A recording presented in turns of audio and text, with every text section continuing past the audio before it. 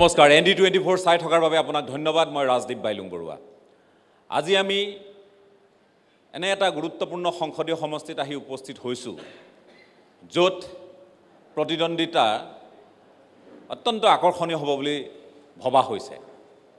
প্ৰকৃতপক্ষে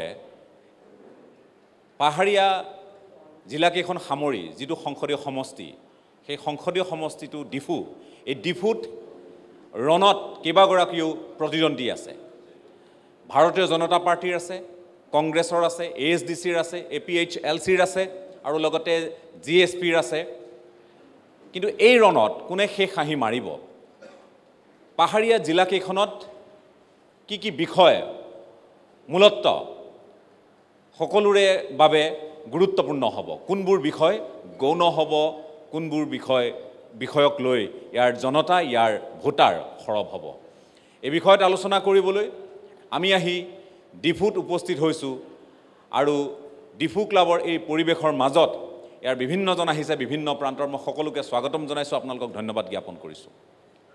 আমি আৰম্ভ কৰিব খুজিছোঁ আৰু আপোনালোকে ইতিমধ্যে গম পাইছে যে ভাৰতীয় জনতা পাৰ্টীৰ হৈ অমৰ সিং টিছু ইয়াৰ লগতে কংগ্ৰেছৰ হৈ Jairam Engleng A P H L চিৰ হৈ জন ইংটি কাথাৰ আৰু আমি এ এছ ডি চিৰ হৈ যিহেতু জটছন বে আছে জি এছ পিৰ এগৰাকী প্ৰাৰ্থীও আছে অৱশ্যে জি এছ পিৰ প্ৰতিনিধি মই ইয়াত দেখা নাই।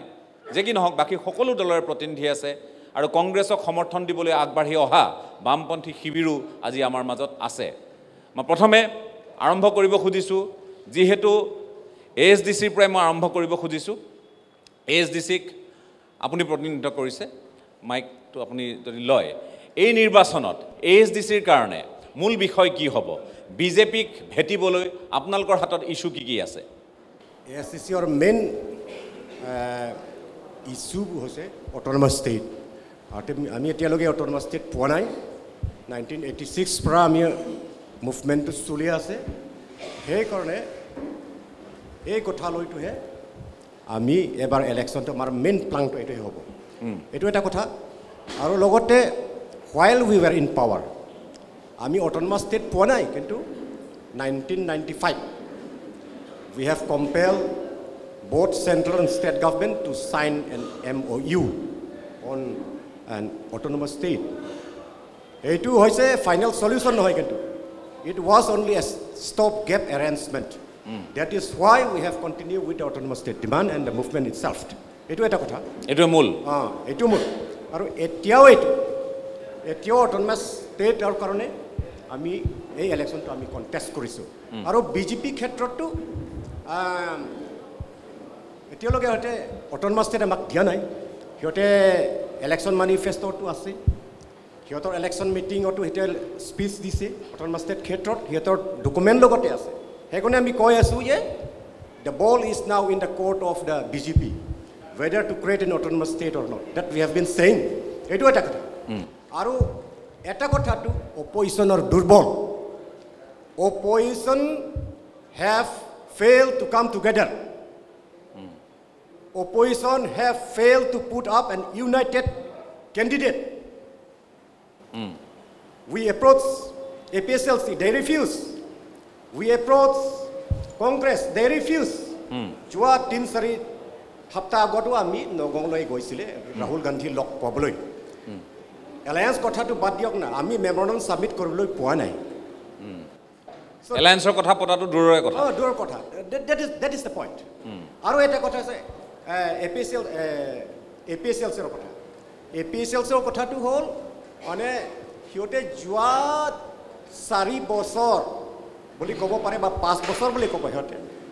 They were only telling lies সিহঁতে কৈছে We are going to conduct re election within six month where is date six month now The term of the council is going to end. But where is re-election? Election is nowhere in the picture. So I want to ask APSLC people whether they will go for re-election in this MP election also.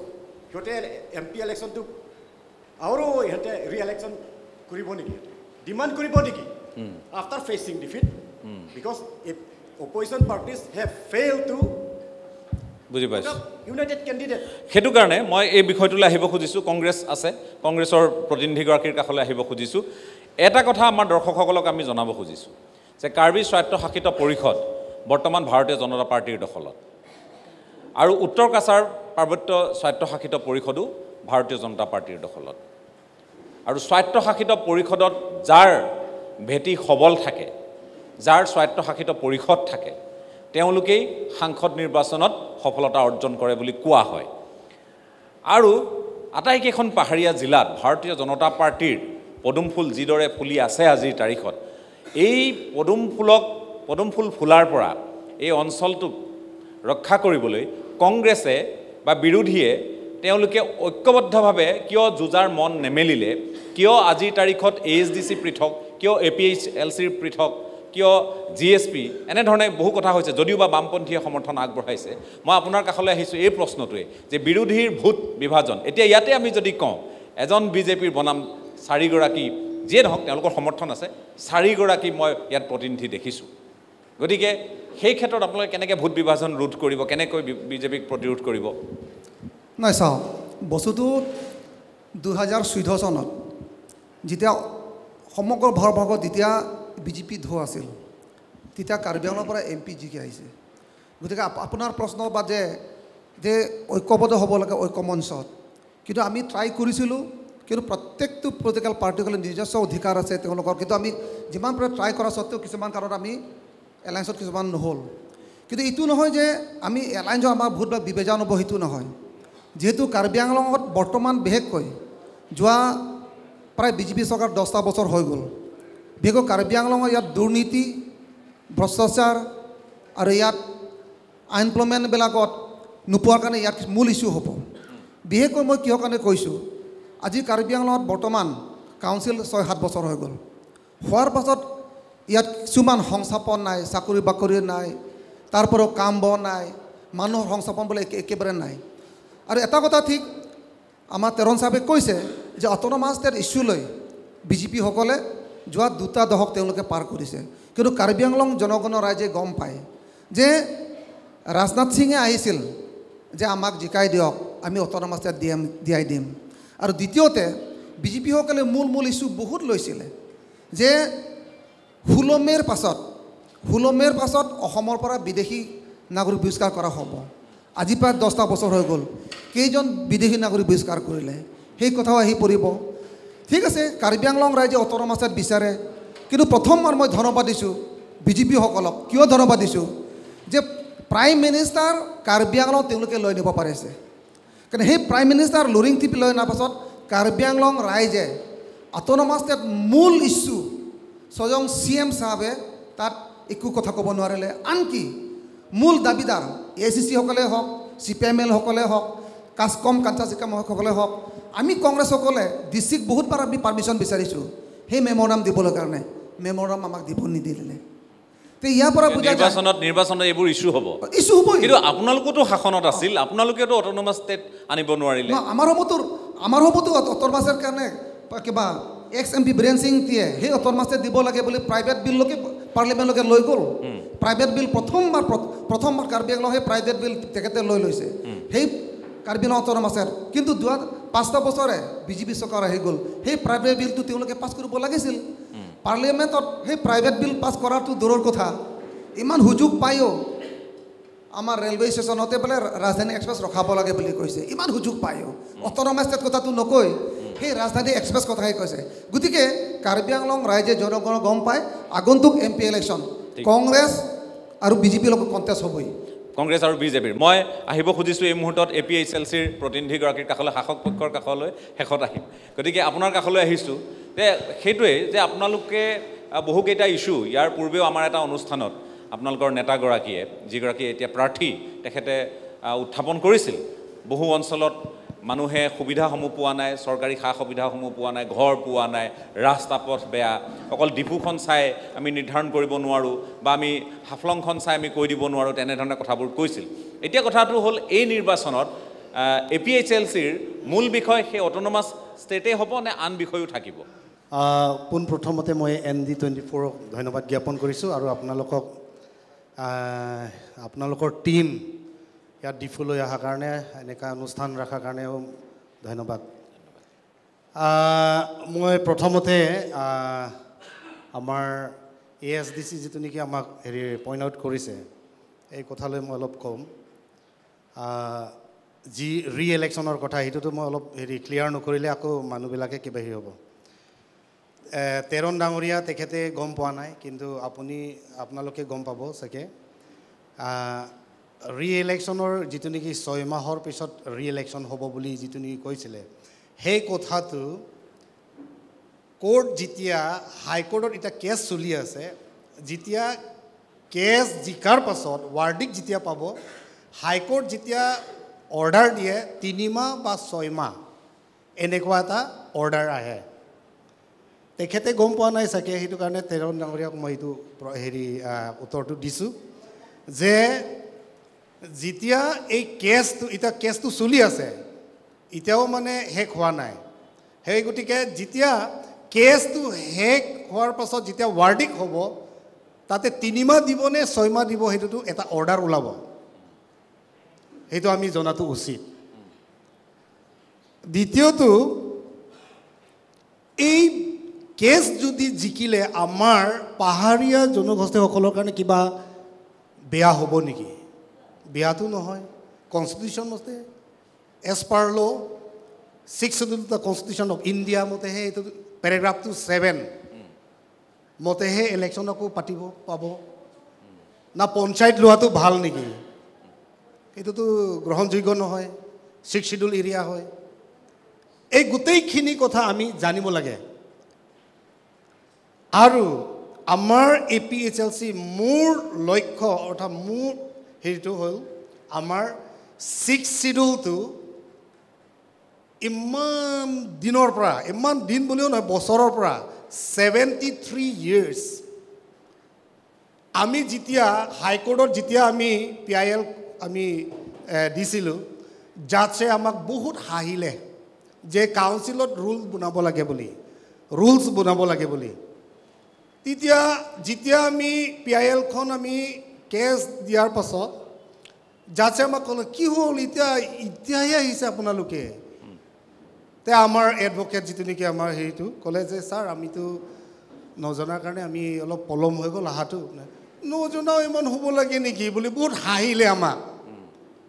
তেতিয়া আমাৰ অন্তৰত একদম ওপৰৱালাৰ কাৰণে আমি প্ৰাৰ্থনা কৰি আছোঁ। পিছত যেতিয়া আকৌ আমাৰ এডভকেটে ক'লে যে ছাৰ আমালোকেতো নাজানিলে কিন্তু জনাসকলেও নকৰিলে। জনাসকলে কোনে হ'ব? যিসকলে প্ৰিন্সিপাল ছেক্ৰেটাৰী গভৰ্ণৰ তেখেতসকলেও নবনালে। তেতিয়া এই পেৰাগ্ৰাফ টু ছেভেনো যেতিয়া কাউন্সিলৰ ৰুলছ বনাব দিছে তেতিয়া আমি অৰ্ডাৰখন আমি পালোঁ। নাই নাই সেইখিনি বিষয়ে জানো। তেতিয়া সেইকাৰণে আমি আমাৰ ই পি এইচ এল চিৰ পৰাতো ছিক্স চিডিউলটো ভালদৰে ইয়াতে লাগে। ইমপ্লিমেণ্ট হ'ব লাগে। দুই নম্বৰ কথাটো হ'ল article two four four A অলপ আগতে আমাৰ তেৰণ ডাঙৰীয়া ক'লে যে এ এছ ডি চিসকলেও খুজি আছে পোৱা নাই। কংগ্ৰেছ কংগ্ৰেছসকলেও পোন্ধৰ বছৰ শাসন কৰিছে। কাৰ্বি আংলং দিছপুৰ দিল্লীলৈও পূৰা কংগ্ৰেছ চৰকাৰ আছিলে এক সময়ত কিন্তু। একোটো হোৱা নাই।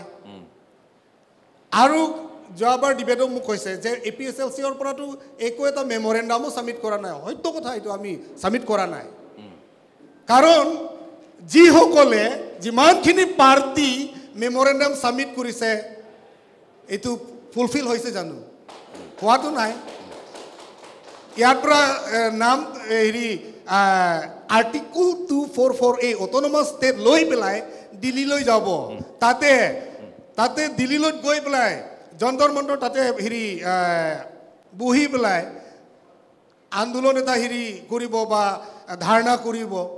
টকা খৰচ কৰিছে বিজেপিসকলেও। বহুত টকা খৰচ কৰিলে। লাষ্টত গৈ থৈ কাক মেমৰেণ্ডাম ছাবমিট কৰিছে? নায়ক হাবিলদাৰকে মেমৰেণ্ডামখনো ছাবমিট কৰিছে।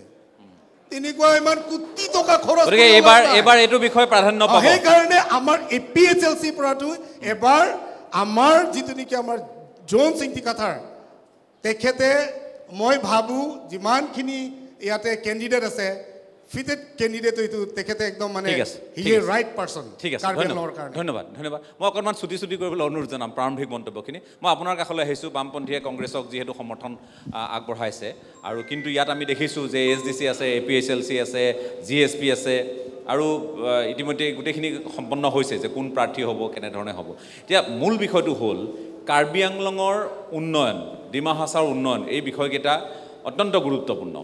বাট পথসমূহ মূল বাট পথসমূহ পূৰ্বতকৈ যথেষ্ট ভাল হৈছে এইটো অনস্বীকাৰ্য ডিফুখনো লাহে লাহে ইয়াৰ সৌন্দৰ্য বৰ্ধন কৰা হৈছে সেইটো অনস্বীকাৰ্য কিন্তু কথাটো হৈছে যে এই যিটো পুৰণি বিষয় আজি বহু বছৰ বছৰ দশক দশক জৰি যিটো দাবী সেই দাবীটোকে লৈ নিৰ্বাচন খেলি কংগ্ৰেছ বা বিৰোধী বা সকলোৱে এই নিৰ্বাচনত বৈতৰণি পাৰ হ'বলৈ যিটো চেষ্টা চলাইছে সেইটো সফল হ'ব নে উন্নয়ন বা এনেধৰণৰ কাম কাজক লৈ প্ৰশ্নবোৰ উঠিব? ধন্যবাদ এন ডি টিভি পৰিয়াল গোষ্ঠীলৈ আৰু লগতে আমাৰ দলৰ নেতা বন্ধুসকল আৰু যিসকল নেকি আজি নেতাসকল আছে নেত্ৰীসকল আছে বন্ধু বান্ধৱীসকল আমাৰ চি পি এম এল দলৰ ফালৰ পৰা এটা দৃষ্টিগোচৰ এইটোৱে আপোনাক উনুকিয়াব খুজিছোঁ সুদীৰ্ঘ সাতত্ৰিছ বছৰ যিহেতুকে কাৰ্বি আংলং পশ্চিম কাৰ্বি আংলং ডিমা হাছাও যিটো গণ আন্দোলন গণ দাবী সেইটো হৈছে দুশ চৌৰাল্লিছ ক সাংবিধানিক অনুচ্ছেদৰ মতে স্বায়ত্তশীল ৰাজ্য পাব বিচৰাটো মূল দাবী। এই দাবীটো আজিলৈকে পূৰ্ণ নহ'ল। কিন্তু ভাৰত সংবিধানত লিপিবদ্ধ আছে যে ঊনৈছশ ছিয়ান্নব্বৈ চনত পঁচিছ ছেপ্টেম্বৰতেই টুৱেণ্টি ছেকেণ্ড এমেণ্ডমেণ্ট যে কাৰ্বি আংলং আৰু পূৰ্বতে উত্তৰ কাছাৰ দুয়োখন পাহাৰী জিলাৰ বাবেহে এই সাংবিধানিক সুৰক্ষাটো দিছে। গতিকে সেই তেতিয়া সেই আইনটো যেনেকৈ আছে আজিলৈকে ৰূপায়ণত ব্যৰ্থ হৈছে। ইয়াৰ মূলত আমি দেখিবলৈ পাইছোঁ যে অসম চৰকাৰৰ স্থৈক্ষেপত কেন্দ্ৰীয় চৰকাৰে এই ৰূপায়ণত বাধাস্বৰূপে আমি দেখা পাইছোঁ। গতিকে দুশ চৌৰাল্লিছ ক ধাৰা সাংবিধানিক মতে ৰূপায়ণ কৰাৰ ক্ষেত্ৰত তাত তৃতীয় শতাংশ সাংসদসকলৰ প্ৰয়োজনীয়তা নাই। তাত চিম্পুল মেজৰিটি হয় হেণ্ড ৰাইজিং কৰিলেই হ'ল ক্লেপ মাৰিলেই হ'ল সেইটো আইনটো পাছ কৰিব পাৰে। গতিকে আমি দেখিলোঁ আহি আহি যিটো আমি আমাৰ দৃষ্টিগোচৰত বি জে পি দলে যেতিয়া নাইনটিন নাইণ্টি এইটত অতুল বিহাৰী বাজপেয়ী তেৰদিনীয়া চৰকাৰত আমাৰ সংঘত একমাত্ৰ কাৰ্বি আংলং আৰু ডিমা হাছাওৰ আমাৰ সংঘত ডক্টৰ জয়ন্ত ৰংপী তেখেতে সেই তেতিয়া টু ফৰ্টি ফ'ৰে অট'নমাছ ষ্টেট ডিমাণ্ড কৰিছিলে। কিন্তু বি জে পি চৰকাৰে বি জে পি দলে কেৰেপ কৰা নাই। যাৰ ফলত নেকি তেখেতে একমাত্ৰ ভোট আস্থা ভোটৰ বিপৰীতে ভোট দিয়াৰ বাবে একমাত্ৰ এটা ভোটৰ কাৰণে অতুল বিহাৰী বাজপেয়ী তেৰদিনীয়া চৰকাৰ পতন ঘটিবলৈ পালে। ঠিক এনেধৰণে পাঁচ বছৰ অতুল বিহাৰী বাজপেয়ী প্ৰধানমন্ত্ৰী আকৌ ঊনৈছশ নিৰান্নব্বৈ চনত তেখেতে ক্ষমতালৈ আহিল। পাঁচ বছৰ তেখেতে ৰাজ কৰিলে।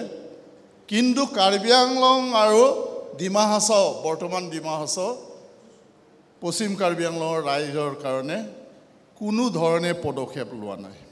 তাৰমানে আপোনালোকে এতিয়াও ভাবে এই বিষয়টোৱে মূল বিষয় হ'ব।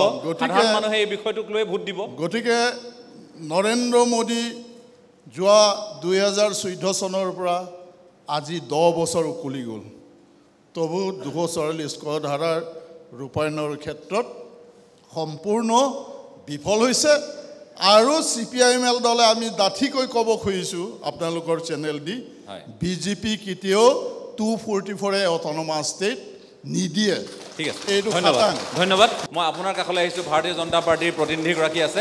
আপোনাৰ বিৰোধী সকলোৱে কথাখিনি কৈছে। কিন্তু মই ভাবোঁ যে এই বিষয়টো স্থবিতৰ সৰ্বণ হৈ আছে। এনে নহয় যে আমি ওলাই কৰিব পাৰোঁ। এইটো পৰিহাৰ কৰি দলিয়াই পেলাই দিয়া বিষয় নহয়। যে অট মানে অট'নমাছ ষ্টেটৰ বিষয়টো দলিয়াই পেলাই দিয়া বিষয় নহয়। কিন্তু সাধাৰণ মানুহে গাঁৱৰ মানুহজনে আজি পাহাৰৰ সেই টিঙত থকা মানুহজনে এই বিষয়বোৰক কিমান অন্তঃকৰণেৰে লৈছে? এইটো বৰ চাবলগীয়া বিষয়। গতিকে প্ৰত্যাহ্বান আছে প্ৰত্যেকটো আপোনালোকৰ বিৰোধী সত্তাই এটা বিষয়ৰ ওপৰতে গুৰুত্ব দিছে সেইটো হ'ল autonomous state two forty four A গতিকে ভাৰতীয় জনতা পাৰ্টীয়ে এই বিষয়টো কেনেধৰণে লৈছে নিৰ্বাচনত এই বিষয়টো কিমান বেছি গুৰুত্ব পাব আপোনালোকৰ বিৰুদ্ধে মানুহক সজাগ কৰাৰ ক্ষেত্ৰত তেওঁলোকে যিটো কথা ইতিমধ্যে আমাৰ আগত দাঙি ধৰিছে। আমাৰ এইবাৰ লোকসভা নিৰ্বাচন যিটো ইস্তাহাৰ মিনিফেষ্টত মিনিফেষ্টটো মেনশ্যন কৰা আছে যে প্ৰথম দফা প্ৰথম এক নম্বৰ এজেণ্ডাতে আছে অট'নমাছ ষ্টেট তথা article two four four A implement কৰা। ঠিক আছে? কিন্তু চাওক সদয় কাৰ্বি আংলং ৰাইজ article two four four A implement কৰাটো বিচাৰে। আমিও বিচাৰোঁ। নোলাব। মই বিচাৰোঁ। নোলাব। হয়। মই বিচাৰোঁ। কিন্তু ইয়াত একমাত্ৰ ৰাজনীতি দল আছে লগত আৰু অংকী বংকী এই বাওঁপন্থী ৰাজনীতি দলৰ বাধা বিঘিনিৰ কাৰণে আজিলৈকে অট'নমাছ ষ্টেট তথা আৰ্টিকল টু ফ'ৰ ফ'ৰ এটো ইমপ্লিমেণ্ট। ৰ'ব ৰ'ব ৰ'ব গম। পাইছেনে? আপোনালোকে উত্তৰ দিব নাই নাই আপোনালোকে উত্তৰ দিব প্লিজ এক মিনিট এক মিনিট এক মিনিট বাইদেউ এক মিনিট বাওঁপন্থী এজন, এজন, এজন, ৰাজনীতি এজন। দলৰ বাধা শুনি বিঘিনিৰ লওক, কাৰণে তেওঁ কি কয় শুনি লওক, আজিলৈকে উত্তৰ দিব। আৰ্টিকল টু ফ'ৰ ফ'ৰ এটো নাই, please। ইমপ্লিমেণ্ট নহ'ল দাদা প্লিজ এজন এজনকে কওক এজন এজনকে কওক বাধা আৰোপ সৃষ্টি নহয় তেখেতে নহয় নহয় আপুনি নহয় নহয় বুজি পালোঁ। তেওঁৰ ক- তেওঁ আপোনালোকে কওঁতেতো তেওঁ কোৱা নাই। গতিকে মাজত হুলস্থুল হ'লে কথাখিনি নাযাব। তেখেতক ক'বলৈ দিয়ক আপোনালোকে পিছত আহিম। নহয় ৰিয়েক্ট কৰিব। নহয় নহয় নহয় আপোনালোকে ৰিয়েক্ট কৰিব ৰিয়েক্ট কৰিব। সময় দিব না। বাইদেউ বাইদেউ এক মিনিট ৰিয়েক্ট কৰিব। আপোনালোকে আপোনাক আপোনাৰ ওচৰলৈকে আহিম। আপুনি যে তেওঁ যদি মিছা কথা কিয় কৈছে বুজাই দিব।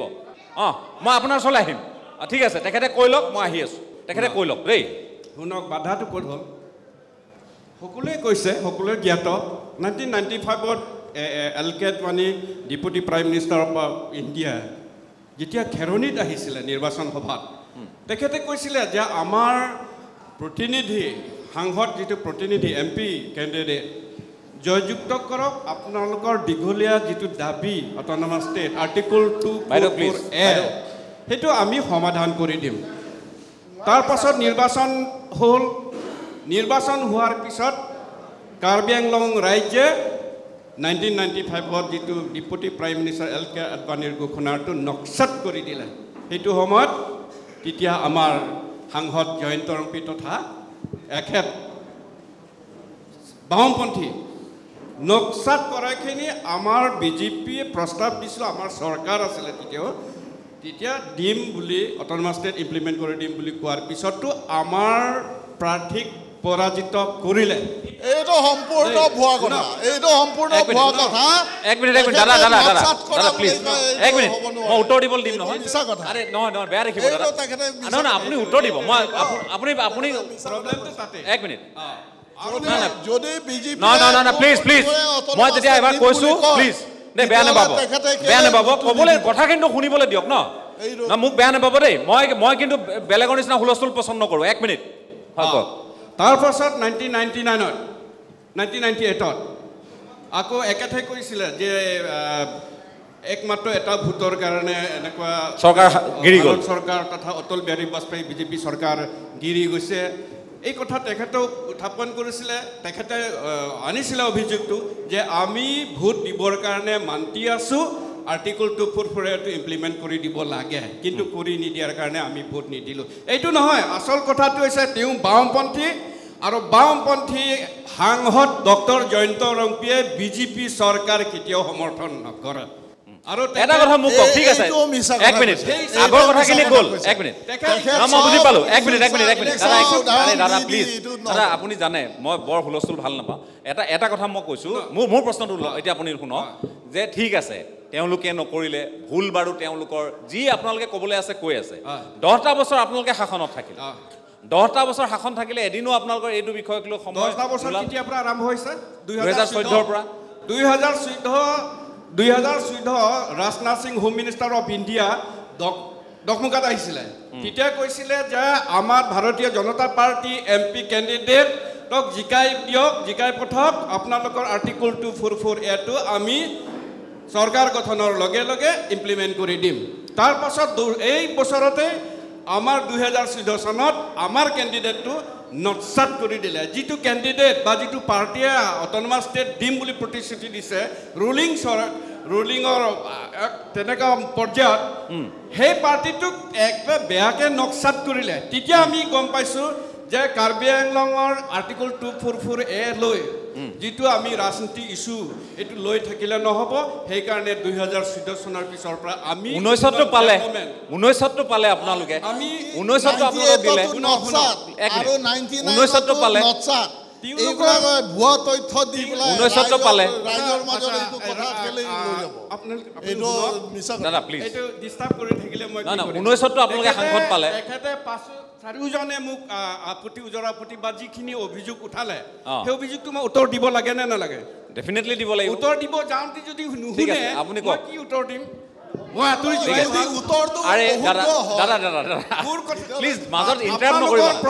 আছে। আপুনি কৈ লওক মোৰ আপোনালোকৰ আপুনি- প্ৰশ্ন উত্তৰ যদি কিবা ভুল হৈছে আ- ক'বলৈ সুবিধা দিব। চাৰিজনকো মই। কৈ আছো অনুৰোধ কৰি আছো। কিন্তু মই কৈ থকা সময়ত নাই, নাই, এতিয়া মোৰ কথাটো হ'ল, এই পাঁচ. বছৰটো আপোনালোকে পাইছিলে। মই ভাল নাপাওঁ এই পাঁচ বছৰটো পাইছিলে। চাৰিওজনকো মই নাই নাই এতিয়া মোৰ নকয় বাৰু একো নকয় মই কৈছোঁ আপোনাক এই পাঁচ বছৰটো পাৰিলেহেঁতেন। চাওক এখেতসকলে উত্থাপন কৰি থকা ইছ্যুটোৰ কাৰণেহে মই আচলতে উত্তৰ হিচাপে দিছোঁ। কিন্তু সঁচা কথাটো আপোনালোকে আজি চাৰিওটা দল ঢেৰ দল আছে। ইণ্ডিয়া এলায়েন্স কাৰণে ইণ্ডিয়া এলায়েন্স কাৰণে প্ৰায় সেইটো বাৰু গম পালোঁ। দলটো ঢেৰ আছে। দেই অকল ইয়াত চাৰিজন নহয় আৰু দল ঢেৰ আছে। শুনক মই কৈছোঁ আজি বা মোৰ দলৰ যিটো জ্ঞাতে হাৰে আমাৰ দলৰ যিটো নীতি সেইটো জ্ঞাতে হাৰে মই কৈছোঁ যে আপোনালোকে কাৰ্বি আংলঙৰ ৰাইজে বা ৰাজনীতি দল নেতাসকলেও এই নিৰ্বাচনত অটনমাছটোৰ ব্যৱহাৰটো বা ইছ্যু হিচাপে লোৱাটো পাহৰি যাওক বা autonomous state article two four four এইটো পাহৰি গ'লেও কোনো প্ৰব্লেম নাই। আমি article two four four A আগৰ আৰু আগত এখোজ আগবাঢ়ি গৈছোঁ। আপোনালোকে দিব? ঠিক আছে। এক মিনিট এক মিনিট ঠিক? ৰ'ব ৰ'ব ৰ'ব ৰ'ব। এক minute please please please please নহয় নহয় নহয় নহয় নহয় এক মিনিট এক মিনিট। ৰ'ব ৰ'ব। মই মই মই বাকীসকলৰ প্ৰশ্ন লওঁ। তাৰমানে আপোনাৰ আপোনাৰ। কথাটো কি? মানে তেওঁলোকে পাহৰি গ'লেও আপোনালোকে দিব নে কি?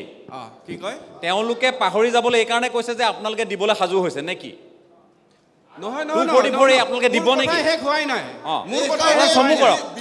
অকণমান। চমু কৰক। শেষ হোৱাই নাই।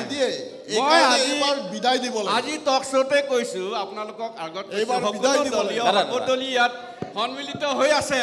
আপোনালোকে এটা কথাহে চিন্তা কৰক বা এটা কথাহে আপোনালোকে বিবেচনা কৰক। আপোনালোকে অটনমাছ ষ্টেট স্বায়ত্ত সাহিত্য ৰাজ্যখনৰ কাৰ্বি আংলঙৰ এন চি এছ লৈ এই ৰা- এ, স্বায়ত্ত সাহিত্য ৰাজ্যখনৰ প্ৰথম মুখ্যমন্ত্ৰীক কাক পাতিম সেইটোৱে সিদ্ধান্ত লওক তাৰমানে হ'ব।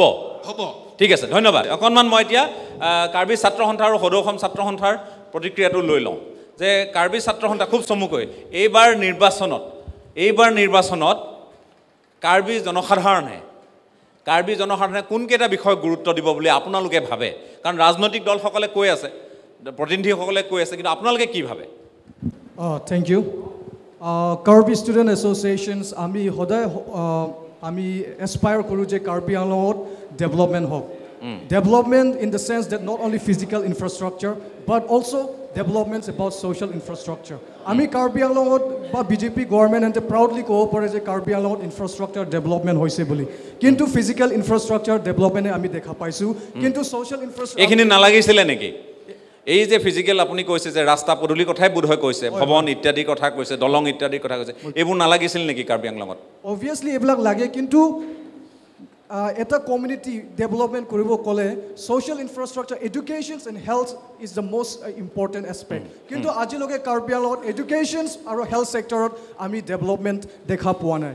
আৰু ছেকেণ্ড ডিমাণ্ডটো হ'ল যে কাৰ্বি আংলঙত আৰু ছেকেণ্ড ছেকেণ্ড কাৰ্বি আংলঙৰ ডিমাণ্ড কাৰ্বি আংলং ৰাইজৰ ডিমাণ্ডটো হ'ল implementation of article two forty four A আৰু আজিলৈকে যিকোনো পাৰ্টি হ'ল particularly am talking about national political party whether it's Congress whether it's B J P they are not sincere to implement article two forty four A যদি তেওঁলোকে ইমপ্লিম যদি তেওঁলোকে sincerely article two forty four implement কৰিব হ'লেহেঁতেন তেওঁলোকে পাৰ্লিমেণ্টত government government বিল ল'বলৈ লাগিছিলে কিন্তু আজিলৈকে গভাৰ্মেণ্ট বিল লোৱা নাই কাৰ্বি আংলঙৰ মানে এইটো এটা ৰাজনৈতিক ইছ্যু কৰিয়ে ৰাখি থয়। ৰাজনীতি ৰাজনীতি ইছ্যু কৰি কিনে সদায় এই- এইটো ইছ্যুতে এহেঁতে ইলেকশ্যনটো খেলি থাকে। এই- এইবিলাক য'ত এইকাৰণে আমি এপিল কৰিছোঁ নেশ্যনেল পাৰ্টি সকলক যে S A K K S A যদি article article two forty four A যদি এহেঁতে ইমপ্লিমেণ্টেশ্যন কৰিবলৈ মন যায় গভৰ্ণমেণ্ট বিল লওক no' private member bill should be allowed ঠিক আছে ধন্যবাদ। সদৌ অসম ছাত্ৰ সন্থাৰ কোন আছে? সদৌ অসম ছাত্ৰ সন্থাৰ ফালৰ পৰা? হয় মই সদৌ অসম ছাত্ৰ সন্থাই এই নিৰ্বাচনটো কেনেধৰণে প্ৰত্যক্ষ কৰিছে কি হ'বলৈ গৈ আছে কি কি মূল বিষয় এতিয়া টু ফৰ্টি ফ'ৰ এ বা আমি স্বায়ত্তশাসিত ৰাজ্যৰ প্ৰসংগটোৱে প্ৰাধান্য পাইছে। কিন্তু এইটোৱেই বিষয় হৈ থাকিবগৈ নে নে আন আন বিষয়ো আহিব? দুহেজাৰ চৈধ্য চনত প্ৰথম বিজেপিসকল তেওঁলোকে প্ৰতিশ্ৰুতি দিছিলে যে জাতি ভেটি মাটি লগতে তেওঁলোকে প্ৰতিশ্ৰুতি দিছিলে যে স্মাৰ্ট চিটি সংস্থাপন কথা কৈছিলে উন্নয়ন কথা কৈছিলে। ছাত্ৰ ছাত্ৰীৰ জীৱনলৈ শিক্ষাৰ কথা কৈছিলে স্বাস্থ্য কথা কৈছিলে। কিন্তু আজি তাৰিখত দেখা পাইছোঁ আজি আমাৰ কাৰ্বি আংলঙে হওক বা অসম অসম সমগ্ৰ ভাৰতত আমি সংস্থাপন আমি দেখা পোৱা নাই স্মাৰ্ট চিটি আমি দেখা পোৱা নাই। ঠিক জাতি ভেটি মাটি তেনেও তেওঁলোকে ৰক্ষা কৰিম বুলি কৈছিলে কিন্তু আজি দেখা পাইছোঁ যে লাখ লাখ বিদেশীসকলক অসমত জাপি দিছে। আৰু এতিয়া নিয়ম জাৰিত তেনেকৈ উল্লেখ নাই যে বিদে বিদেশীসকলক নাগৰিকত্ব দিয়াৰ পিছত কাৰ্বি আংলঙত আহিব নোৱাৰে বা চাকৰি কৰিব নোৱাৰে বুলি নিয়ম জাৰিত নাই। ঠিক তেনেধৰণে যিমান আজি ৰাজনীতি দল দলকেইটা এটা কথা স্পষ্ট হোৱাৰ প্ৰয়োজন আছে। বিদেশী জাপি দিলে নে জাপি দিব নে আহিলে দিলে জাপি দিলে আহিলে। এতিয়া যিসকল যিসকল যিসকল এতিয়া ৰুলছখন ইমপ্লিমেণ্ট কৰিলে ৰুলছখন ইমপ্লিমেণ্ট কৰিলে তাৰপিছত কাৰ্বি আংলংখন প্ৰযোজ্য নহয় বুলি কৈছিলে। এলেকাত নহয়। নহয়। কিন্তু তেওঁলোকে যেতিয়া আপোনাৰ ভাৰতৰ ভাৰতৰ নাগৰিক হিচাপে তেওঁলোকক যেতিয়া নামজাৰি ল'ব তেন্তে আমাৰ কাৰ্বি আংলং তেওঁলোকে চাকৰি নামত তেওঁলোকে আহিব নোৱাৰিবনে? প্ৰথম কথা এতিয়া বিজেপি চৰকাৰে তেওঁলোকে জাতি জাতি জাতি প্ৰেমৰ কথা কয়। দ্বিতীয় কথা হ'ল আজি যিমান ৰাজনীতিক দল সংগঠন আছে মই এটা কথা ক'ব বিচাৰিছোঁ আমাৰ কাৰ্বি আংলং যিমান কলেজখন আছে বা যিমান ইউনিভাৰ্চিটি পষ্ট গ্ৰেজুৱেট আমাৰ কাৰ্বি আংলং জিলাখন আছে তেওঁলোকৰ ডাটা আছেনে কেইজন কে- কেইহাজাৰ আমাৰ কাৰ্বি আংলঙৰ যুৱক যুৱতীয়ে পষ্ট গ্ৰেজুৱেট কৰি আজি তেওঁলোকক সংস্থাপন দিব দিব পৰা নাই বুলি এই কথা আপোনালোকে খোলাকৈ ক'ব নোৱাৰে আৰু ডাটাও নাই। দ্বিতীয় কথা হ'ল আমাৰ স্বাস্থ্য ক্ষেত্ৰত। আমাৰ স্বাস্থ্য ক্ষেত্ৰত আমাৰ যোনটো বৰ্তমানৰ আমাৰ মেডিকেল কলেজ আছে মেডিকেল কলেজ অসমৰ স্বাস্থ্যমন্ত্ৰী কৈছিলে যে আমি মাল্টি স্পেচিয়েলিটি হস্পিটেল বনাম কিন্তু আপোনালোকে এতিয়া বৰষুণ সময়ত দেখা পাব যে তাতে এক ঘণ্টা বৰষুণ দিলে আপুনি বৰষুণ দিলে মাছো দি আহে। ঠিক তেনেধৰণে আমাৰ গাঁও পদূলি যাব স্বাস্থ্য বাতৰি শিৰোনাম হয়। হয়। আৰু তেওঁলোকে দহ বছৰটো ফটা ধুলে দিলে আমাৰ অসমক। না সংস্থাপন আৰু কংগ্ৰেছো তেনেকৈ আছিলে কংগ্ৰেছে কি কয় আপোনাৰ ব্লেংক ব্লেংকেট বিতৰণ কৰিছিলে। এতিয়া বিজেপি চৰকাৰে আহিছে লেট্ৰিন বিতৰণ কৰি আছে মাহে মাহে আপোনাৰ বাৰশ বাৰশ টকা বিতৰণ কৰি আছে মহিলাসকলক। আৰু যোনটো বাথৰুম দিছে তাতে দেখা পাওঁ যে গাঁৱে দেখা পাওঁ যে মানুহ সোমালে আকৌ ওলাই আহিব নোৱাৰে। তাত অকল ছাগলী বা গৰুৱে থাকিব পাৰে। তেনেকৈ তেনেকৈ অৱস্থাত আৰু যোনটো P M G S Y ঘৰ কথা তেওঁলোকে দিছে কৈছে বোলে কয় ভাৰতৰ প্ৰধানমন্ত্ৰী কয় যে গৌৰৱত কয় যে ইমান ইমান কোটি ইমান ইমান কোটি আমি ঘৰ বনাই দিলোঁ। কিন্তু তেওঁলোকে য'ত য'ত আমি দেখা পাইছোঁ তাতে কণ্ট্ৰেক্টাৰকেইটাই ঘৰে বনাই নিদিয়ে। এতিয়া ডিফুত বিশেষকৈ ডিফুত আমাৰ ডিফুত আপোনালোকে উন্নয়ন তেওঁলোকে কৰিছে কৰে নে মই মই নকওঁ কৰিছে। কিন্তু ডিফুৰ বাহিৰে আমাৰ যিমান কাৰ্বি আংলংখন ডাঙৰ আছে ৰোড পদূলি নাই স্বাস্থ্যৰ স্বাস্থ্যৰ আমাৰ অৱস্থা নাই ভাল হোৱা নাই। ভাল হোৱা নাই। গতিকে এইবোৰ ইছ্যু হ'ব বুলি ভাবে। এইবোৰ ইছ্যু ঠিক। আছে ধন্যবাদ। কে আছে কাৰ্বি ছাত্ৰ সন্থাৰ কেইটা গোট আছে ইয়াত? একে নেকি? তেওঁ বেলেগ ঠিক আছে হয়। কথাটো হ'ল এবাৰ M P election two thousand twenty four প্ৰথম ইছ্যুটো হ'ল অট'নমাছ ষ্টেট আৰু আৰু আহিব তাৰপিছত আমাৰ ইয়াতে Karbi আংলঙত university Diphu campus university Diphu campus আজি ছেভেণ্টিন ইয়াৰ্ছ হৈ গ'ল। ছেভেণ্টিন ইয়াৰ্ছ হৈ গ'ল হ'লেও আজি আজিলৈকে ফুল ফ্লেজেড হোৱা নাই। এইটো যোৱা দুই বছৰ আগতে আমাৰ doctor Tularam Rahang C M তেখেতে তেখেতে প্ৰতিশ্ৰুতি দিছিলে যে দুই বছৰ পিছতে আহি যাব ইয়াত ফুল ফ্লেজেড আহি যাব বুলি কৈছিলে। হ'লেও আজিলৈকে ফুল ফ্লেজেড হোৱা নাই। এইটো এইটো মই বিজেপি হাঁহি ৰুলিং তেখেতক মই প্ৰশ্ন উত্থাপন কৰিব বিচাৰিছোঁ। কিয় হোৱা নাই? কিয় হোৱা নাই আজিলৈকে। তাৰপিছত আৰু- আৰু অটনমাছ ষ্টেট যদি if article two four four autonomous state যদি ইমপ্লিমেণ্ট হৈ যায় তেতিয়াহ'লে আমাৰ কাৰ্বি আংলং সমস্যা সমাধান হ'ব পাৰ্মানেণ্টলি সমাধান হ'ব। আৰু সেইকাৰণে এইটো ইমপ্লিমেণ্টেশ্যনৰ ওপৰতে এইবাৰ সকলোৰে আকৌ গুৰুত্ব থাকিব। কেইটামান বিষয়? এটা কথা ক'ব আছে আৰু আমাৰ ইয়াত এডুকেশ্যন চিনিয়ৰো প্ৰাইমেৰী এডুকেশ্যন চিনিয়ৰো একদম এতিয়া ৱৰ্ছ কণ্ডিশ্যনত আছে। ৰিচেণ্টলি গণ গণ- গণোৎসৱ গণোৎসৱত চবচে বটমত আছে কাৰ্বি আংলঙৰ ৰিজাল্ট শিক্ষাৰ মানটো উন্নীত হোৱা নাই। এইবোৰ বিষয়ে মানুহে এইবাৰ গুৰুত্ব দিব বুলি ভাবিছে। ঠিক আছে। আৰু অৰাজনৈতিক সংগঠন পলিটিক আপোনাৰ? কোন সংগঠন? হা?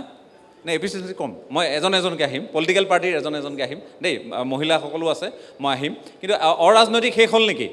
আৰু কোনোবা আছে নেকি? অৰাজনৈতিক সংগঠনৰ প্ৰতিনিধি? যদি নাই মই এতিয়া এই ৰাজনৈতিক দলকেইটাৰ মহিলা প্ৰতিনিধিসকলৰ পৰা অকণমান অকণমান কথা জানিব খুজিছোঁ। এ পি এইচ এল চিৰ এই বাইদেউগৰাকীয়ে ক'ব খুজিছিল খুব চমুকৈ ক'ব বাইদেউ।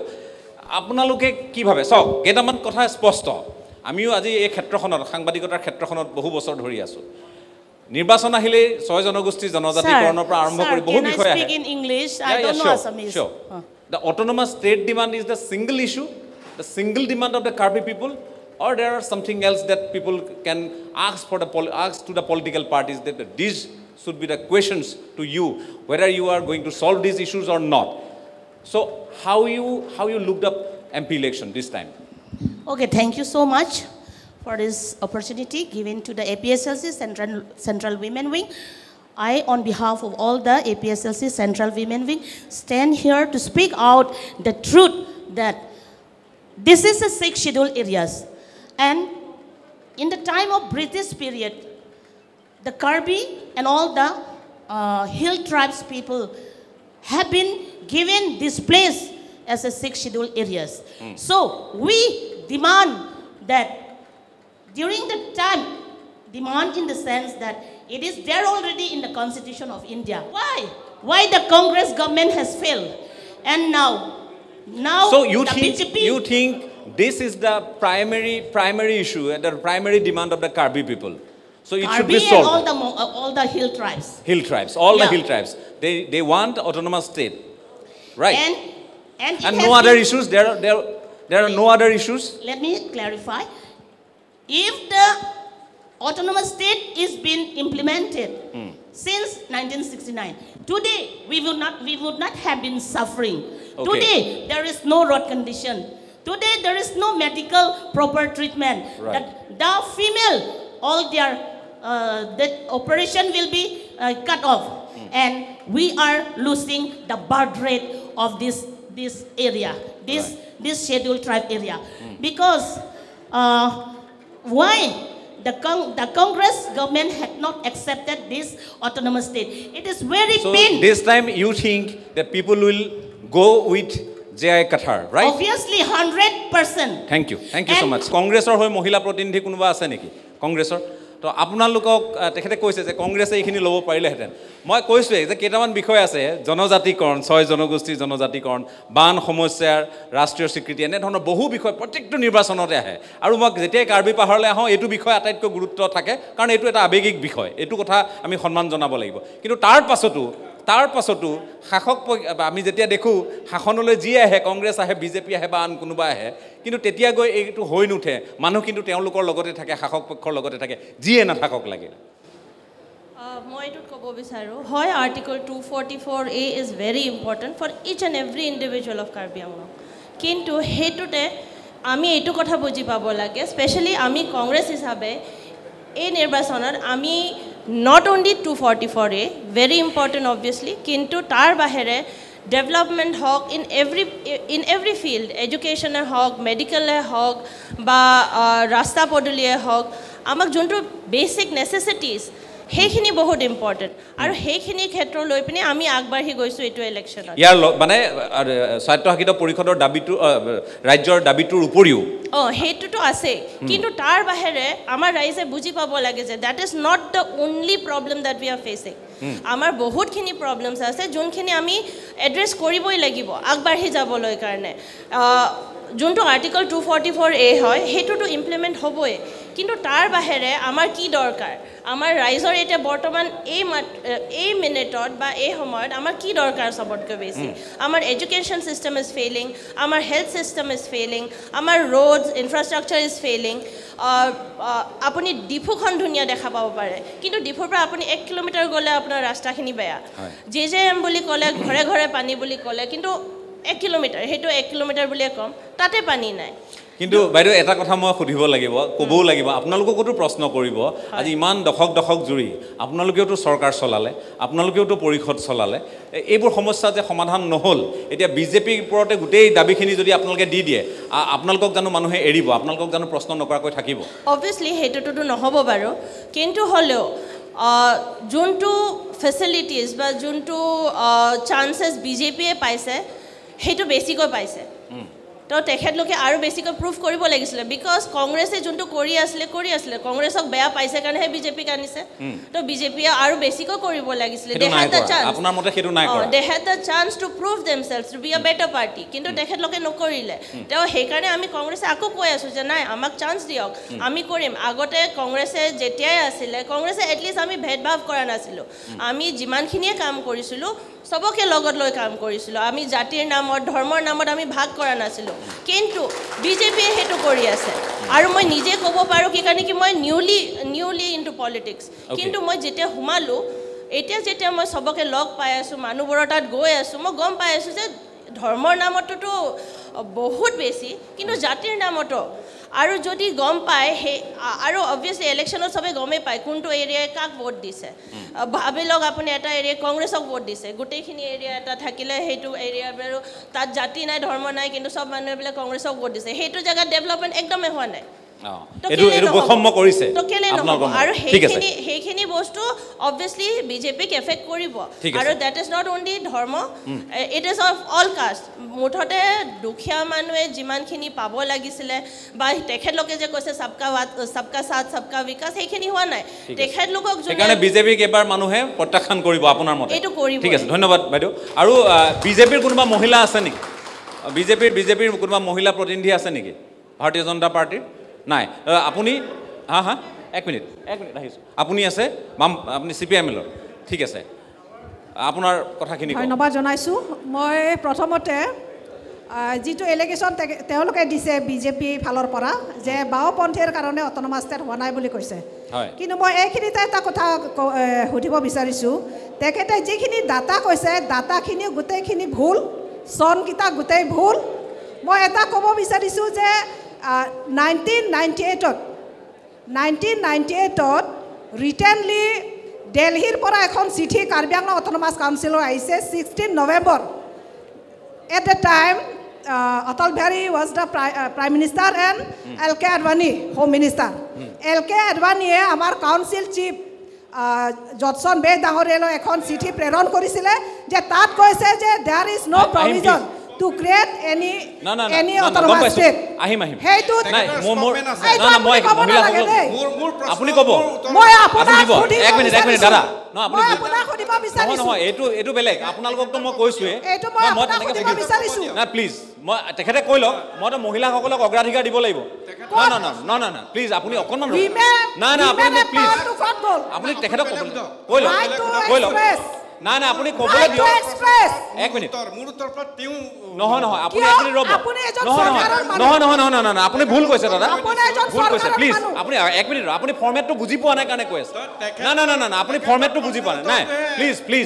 Please cooperate please cooperate supporters please cooperate বেলেগ- প্লিজ কোপাৰেট দাদা দাদা প্লিজ কোপাৰেট ন ন ন CPIML. জানিছোঁ আপুনি তেনেকৈ নোৱাৰে তেনেকৈ নহয় আপোনালোকক মই সন্মান দিম?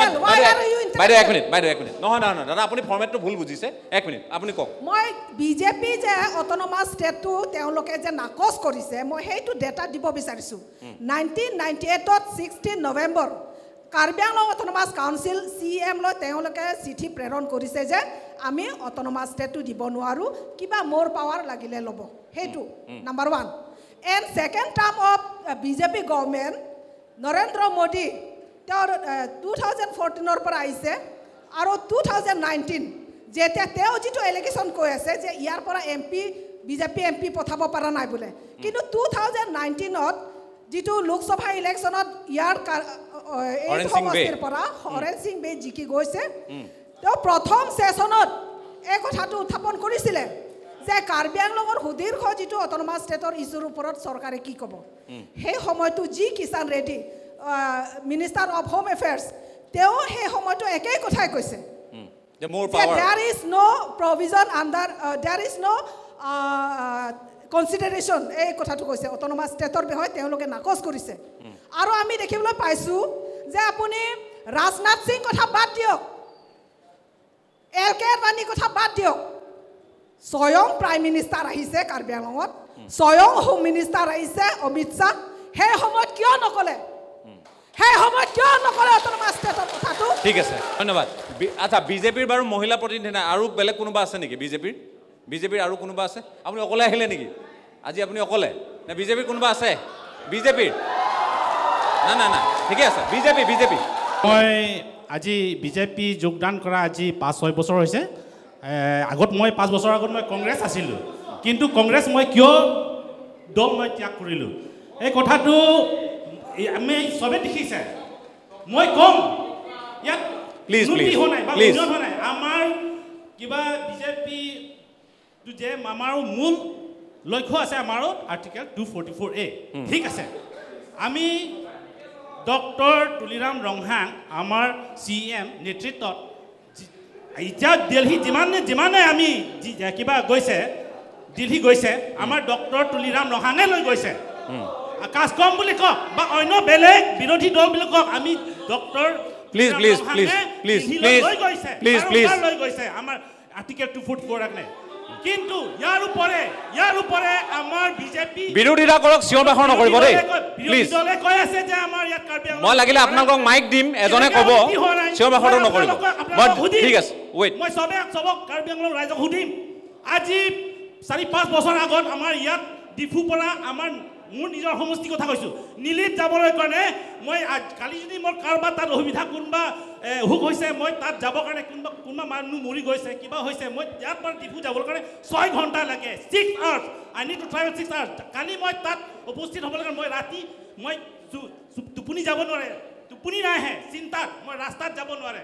আমি দেখিছে দিলায়ত আপোনালোকে দেখিছে দিলায়ত দিলাই ইয়াত মাঞ্জাটো দিলাই এনেকা ৰাস্তাত এনেকা ৰাস্তাত মানুহবিলাকে খোজ কাঢ়িব নোৱাৰে কিন্তু এতিয়া পাঁচ বছৰ পাঁচ বছৰ পিছত এতিয়া কেনেকা ৰাস্তা হৈছে এতিয়া ফ'ৰ ৱে আহিছে সেইকাৰণে আপোনালোকক ভোট দিব মানে আপুনি ভাবে যে সেইকাৰণে এইবোৰ কথা চাওক চাওক মই কৈ আছো ভাই। কিমান.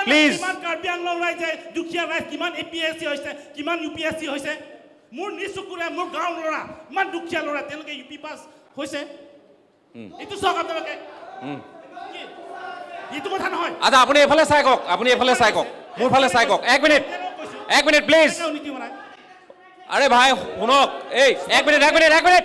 হাল্লা নহয়। যদি কাৰোবাৰ থাকিবলৈ মন নাই যাব পাৰে দেই। হাল্লা নকৰিব। এজন মানুহে কৈ আছে মই চবকেতো দিছোঁ ক'বলৈ। তো তেওঁলোকক ক'বলৈ দিয়ক না। নাই, এক মিনিট। মই ক'বলৈ দিম বুলি ক'লোঁ নহয়। ক'বলৈ দিমতো আপোনালোকে আপোনালোকে হাল্লা কিয় কৰিছে? নাই নাই নাই নাই নাই এইটো বেয়া কথা। হাল্লাটো নকৰিব। এজন এজনকৈ ক'বলৈ দিয়ক। দেই এজন এজনকৈ ক'বলৈ দিয়কচোন কেলৈ আপোনালোকে জানে এইটো আপোনালোকৰ ঠাইৰ বদনাম হ'ব যদি হুলস্থুল হয় প্লিজ আমাৰ বিজেপি দলৰ হৈছে শান্তি প্ৰগতি আৰু উন্নতি। আমি আজি আহিছোঁ ইয়াত আপোনালোকৰ এন ডি টুৱেণ্টি ফ'ৰ আমি ইয়াত কাৰোবাৰ বিৰোধী দল বা বেলেগ দলৰ আমি ইয়াত সমালোচনা কৰিবলৈ অহা নাই। আমি যিটো এনে সঁচা কথা আমি এইকেইটা ডিছকাছ কৰিবলৈ আহিছোঁ। কিন্তু আমি দেখিছোঁ আমি ৰাস্তা আলি পদূলি ইয়াত ক'ত ইয়াত তাৰমানে আপোনাৰ মতে ৰাস্তা পদূলি ভাল হৈছে? আপোনালোকে কমিউনিকেশ্যনটো ভাল কৰিছে ইনফ্ৰাষ্ট্ৰাকচাৰ আপোনালোকৰ ভাল হ'ব বুলি ভাবে। অঁ স্কুলীয়া স্কুলীয়া ল'ৰা ছোৱালী কিতাপ ঠিক আছে, ঠিক আছে। ভৰ্তি কৰালৈকে ফ্ৰী দিছোঁ। ঠিক আছে। তাৰপিছত এতিয়া আকৌ এটা ষ্টেপ লৈছে।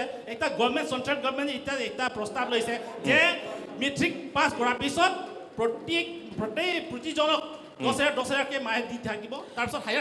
তাৰমানে ঠিক আছে দাদা ঠিক আছে। ধন্যবাদ ধন্যবাদ ধন্যবাদ। প্ৰথমত N D news twenty four media হাউচক A S D C দলৰ পৰা স্বাগতম আৰু ধন্যবাদ জ্ঞাপন কৰিছোঁ।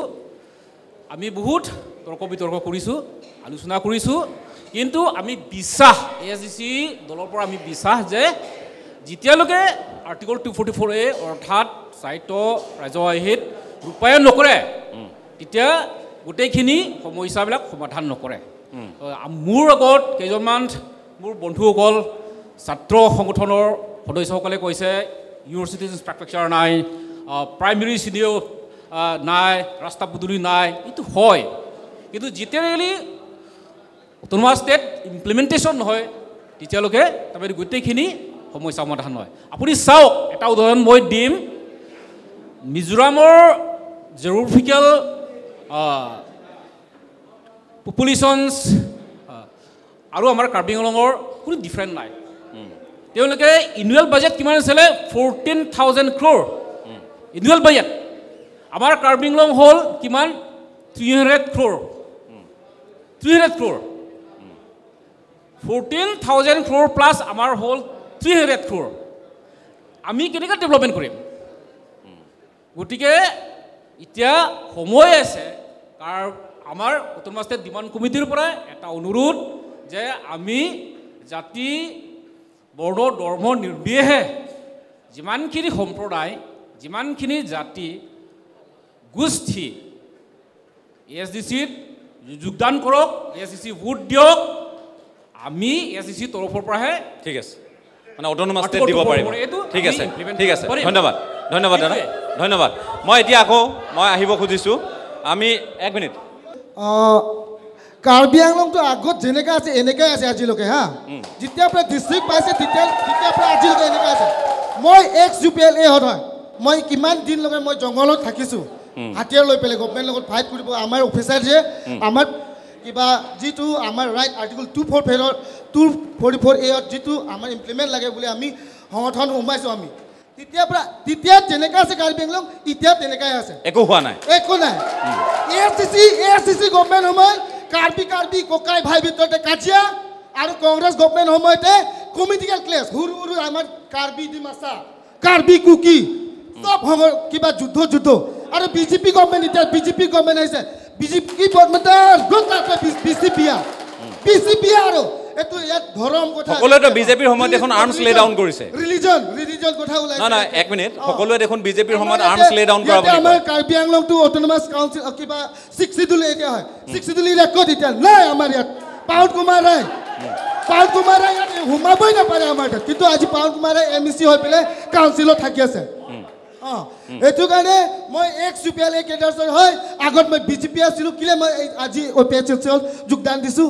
মই এক আশা নাই কোনো পাৰ্টীৰ আশা নাই। অকল A P H L C আশা আছে।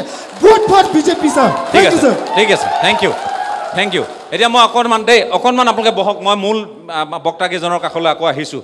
মানে বিজেপিক অকণমান সুধিব খুজিছোঁ যে আপোনালোকে কয় আপোনালোকে দাবী কৰে। মাইকটো এক ছেকেণ্ড মই সুধিছোঁ কুৱেশ্যন আপোনালোকে দাবী কৰে আপোনালোকে কাৰ্বি আংলঙলৈ শান্তি আনিলে ডিমা হাছাওলৈ শান্তি আনিলে। আৰু এই. যিটো শান্তি এই শান্তিত সকলোৱে যিসমূহ আমাৰ বিদ্ৰোহী গোট আছিল তেওঁলোকে অস্ত্ৰ সম্বৰণ কৰি মূল সুঁতিলৈ ঘূৰি আহিলে। আপোনালোকৰ কেইবাখনো চুক্তি স্বাক্ষৰিত হ'ল। কিন্তু এওঁলোকৰ মনৰ যিখিনি ক্ষোভ এই ক্ষোভখিনি প্ৰকৃতপক্ষে নিৰীক্ষণ হোৱা নাই নেকি? বিজেপিয়ে কৰিব পৰা নাই নেকি? যদিও বা আপোনালোক স্বায়ত্তশাসিত পৰিষদ আপোনালোকৰ দখলত ডিমা হাছাওটো একেই ইয়াতো একেই বা আপোনালোকৰ কেইবাগৰাকীও বিধায়ক আছে। আপোনালোকে পৰা নাই নেকি? শান্তিৰ প্ৰক্ৰিয়াৰ মাজেৰে চুক্তিটো চুক্তিবদ্ধ হৈছে আৰু চুক্তি কিছুমান ক্লজ আছে দাবী আছে। দাবী চনত এইবিলাক দুই পক্ষ ত্ৰিপক্ষ ষ্টেট গভৰ্ণমেণ্ট আৰু আমাৰ দল আৰু চেণ্ট্ৰেল গভৰ্ণমেণ্ট যিটো ত্ৰিপক্ষ যিটো চুক্তি স্বাক্ষৰ কৰিলে সেইটো দফা দফা এইটো ইমপ্লিমেণ্ট হৈ গৈ থাকিব। পৰাপক্ষ এতিয়া এতিয়ালৈকে অলমষ্ট মেক্সিমামখিনি ইমপ্লিমেণ্ট হৈছে। আৰু যদি আছে সময় সাপেক্ষে এইটো হৈ যাব এইটো চিন্তা কৰিব নালাগে। এটা কথা কওক বাকী আৰু উত্তৰলৈ গ'লে বহুত তৰ্ক বিতৰ্ক হ'ব। মই ষ্ট্ৰেইট ফৰৱাৰ্ড সুধিছোঁ যে আপোনালোকৰ প্ৰাৰ্থীগৰাকীক মানুহে ভোট কিয় দিব? ভোট দিব এইটো কাৰণে যে যোৱা সত্তৰটা বছৰ যিটো অসমৰ লগত ভাৰতবৰ্ষ কাৰ্বি আংলঙতো উন্নতি হোৱা নাছিলে কিন্তু যোৱা সাতটা বছৰ বা ছয় বা সাতটা বছৰ মানে সত্তৰ মাহ ছেভেণ্টিন মান্থছ যিটো ছেভেণ্টি ইয়াৰ্ছ নোহোৱা কামটো ছেভেণ্টি মান্থছত মাহত গোটেই কাৰ্বি আংলং অন্য কাৰ্বি আংলং অসমৰ লগতো ভাৰতবৰ্ষ উন্নতি হৈছে বিভিন্ন দিশত উন্নতি হৈছে কাৰ্বি আংলঙতো যথেষ্ট উন্নতি হৈছে আৰু বিৰোধী দলবিলাকে এই মঞ্চত আপত্তি কৰে উন্নতি হোৱা নাই ৰাস্তা ঘাট হোৱা নাই বুলি কৈছে। কিন্তু এই মঞ্চত বা মিডিয়াৰ মাজত যিখিনি দুই একজন মানুহ এটা ওৱান পাৰ্চেণ্টো নহয় এইকেইটা মানুহ মিডিয়াত আহি থাকে সেইকেইটা কৈ থাকে। কিন্তু নাইণ্টি নাইন পাৰ্চেণ্ট গাঁও অঞ্চলত হওক বা অন্য বিভিন্ন অঞ্চলত বসবাস কৰা এই আপত্তি আজিলৈকে আমি পোৱা নাই। ঠিক আছে ধন্যবাদ। উন্নতি হৈছে। ঠিক আছে সেইকাৰণে ভোট দিব বুলি ভাবে। মই দাদা আপোনাৰ কাষলৈ আহিছোঁ মাইকটো দি দিয়ক যে আপোনালোকৰ প্ৰাৰ্থীক কিয় ভোট দিব বুলি ভাবে? মানে both Congress and APSLC have failed to play the role of APSLC and Congress have failed to play the role of কৈ আছে বিজেপি an opposition party. ময়ো কৈ দিছোঁ BJP. APSLC and Congress control him.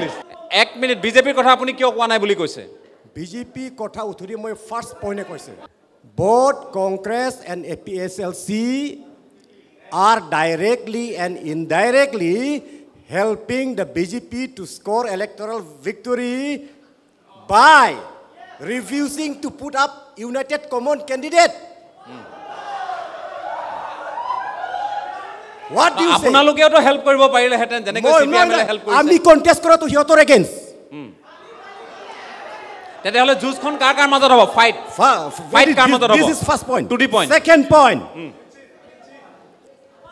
Article 244A. Article 44A. Eh, Article 44. Article 44. Hey, don't laugh. Control them.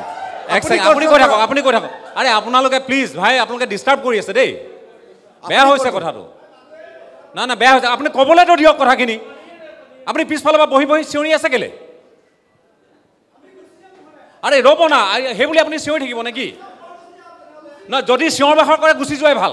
Please I on mind নহয় নহয় মই একদম clear কাট কথা কৈছোঁ। যদি চিঞৰ বাখৰ কৰে গুচি যোৱাই ভাল। ন ন ন ন ন আপুনি এনেকৈ হাল্লা কৰি থাকিব না। নহয় নহয় আপুনি হাল্লা নকৰিব দেই মই কৈ দিলোঁ। হাল্লা নকৰিব। একদম মই কৈ দিছোঁ হাল্লা নকৰিব। প্ৰগ্ৰেমৰ পৰিৱেশ বেয়া নকৰিব আপুনি। ভালকৈ কৈ আছোঁ কথাবোৰ বুজি পোৱা নাই নেকি? আপুনি কওক। Article 44, Uniform Civil Code.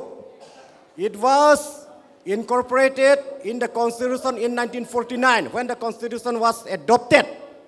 তেতিয়া বিজেপিটো নাই কংগ্ৰেছে The only thing is কিন্তু that বিজে- ফাইট কাৰ লগত হ'ব মোক সময় নাই দাদা the, সোনকালে the কওক। only thing is that BJP wanted to implement Article 44, Uniform Civil Code. This is second point. And APSLC in 1969, 69 আৰু 72 আমি autonomous state was already offered to us, but it was APSLC and Congress who betrayed us. চব বৃদ্ধি autonomous গতিকে মানুহে এবাৰ সেইকাৰণে আপোনালোককহে বিশ্বাস আমাক দিব কাৰণ they have fail to play but Congress I and A P S L C have to play have fail to play the role of an opposition সিহঁতে অপজিশ্যন ৰলে খেলিব পাৰে নাই কেনেকৈ ইলেকশ্যন জিকিব? কংগ্ৰেছ কংগ্ৰেছ। কংগ্ৰেছ মূল প্ৰতিদ্বন্দ্বিতাত কোন থাকিব? আৰু reelection reelection where is reelection now M P reelection সিহঁতে পাতিবনে নাই এ পি এছ এল চিয়ে ৰিয়েল কাউঞ্চিল ইলেকশ্যনটো এক চেকেণ্ড দিয়ক তেওঁক দিয়ক তেওঁক দিয়ক। ফাইট কাৰ কাৰ মাজত হ'ব? ফাইট ইমানবোৰ বিৰোধীৰ মাজত ফাইট ফাইটটো কংগ্ৰেছ আৰু বিজেপিৰ মাজতে হ'বই। অলপ আগতে বিজেপিসকল কৈছে আমি ডেভেলপমেণ্ট বহুত হৈছে। মানি লৈছোঁ।